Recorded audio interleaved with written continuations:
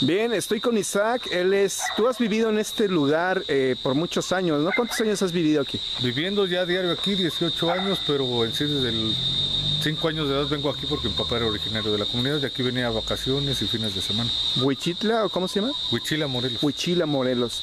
Y en este puente precisamente es donde se aparece, o dice la gente que se aparece el fantasma de un jinete, ¿no? Que falleció. Ajá, de un militar en el año de 1958, si no me equivoco. Sí. Se rumora que en la calle que está acá atrás echaban carrera a los militares porque había un cuartel en una hacienda que te voy a enseñar ahorita de aquel costado. Y se le desbocó el caballo y cayó acá abajo hacia la barranca y falleció. Entonces desde ahí dice que se aparece en ocasiones el, el militar en este puente. Ok.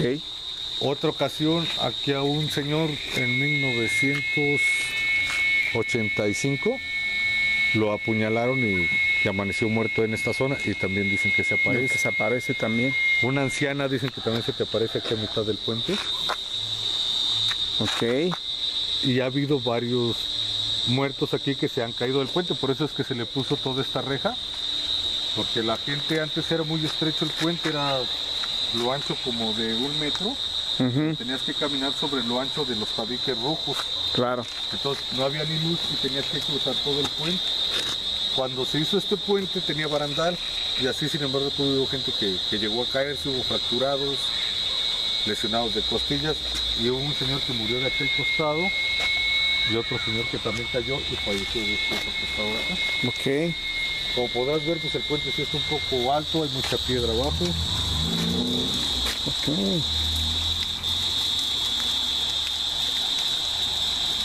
Y eso se cuenta nada más de, de, de esta, de Nada esta más parte. de esta zona. De esta Que zona. hay otra parte, por ejemplo a la casa que vamos a ir ahorita ya, Ajá. También dicen que ahí espantan, que a la gente la sacan, le hacen ruido, que tiembla la casa Ah, caray. y que pues, no puede soportar la gente una noche estar ahí en esa casa. Entonces vamos a ver si, si es cierto.